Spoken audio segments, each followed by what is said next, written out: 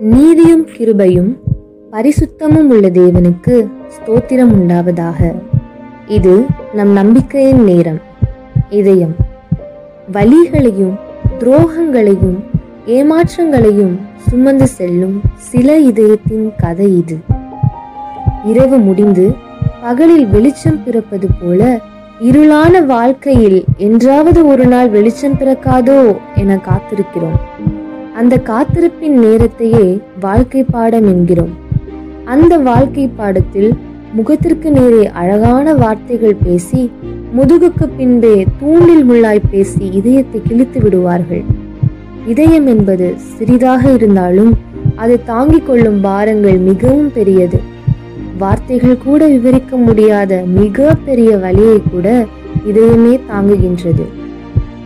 இதயமானது உடலிலே இணைக்கப்பட்டிருந்தாலும் அது மனதின் கூடாரம். மனிதர்கள் தங்கள் கஷ்டங்கள் பெருகும்போது இதயத்திற்கு வாயிருந்தால் அழும் என்பார்கள். அதுபோலவே எல்லா பாரங்களையும் எல்லா சுமைகளையும் அந்த சிறு இதயமே தாங்குகின்றது. உடலில் உள்ள உறுப்புகளில் இதயம் மட்டும் மிகவும் பயந்தவன். கஷ்டங்கள் பாரங்கள் வலிகள் துரோகங்கள் எல்லாம் சூழும்போது அந்த பயந்த இதயமானவன் நம் இரத்த ஓட்டத்தையும் இதயத்தின் துடிப்பையும் அதிகப்படுத்தி நம்மையும் அதிகமாக பயந்துவிட செய்வான். இவை எல்லாம் சூழும் அந்த நேரத்தில் அந்த இதயத்தில் உன் கைகளை வைத்து ஒன்று மட்டும் சொல். நீ பயப்படாதே கர்த்தர் எனக்காக யாவையும் செய்து முடிப்பார். நான் சும்மா இருப்பேன் அவர் எனக்காக யுத்தம் செய்வார் என்று உன் இதயத்திடம் சொல்.